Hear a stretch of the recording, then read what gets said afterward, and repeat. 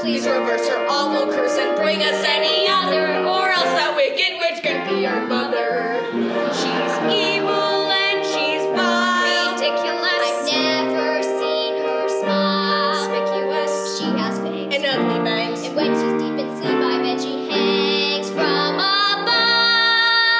Vicky's not a vampire. That